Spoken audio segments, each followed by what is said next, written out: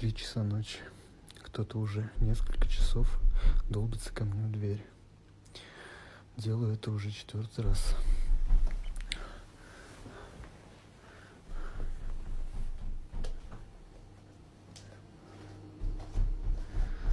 Кто там? Смотрим в глазок. Никого нет. Открываем дверь.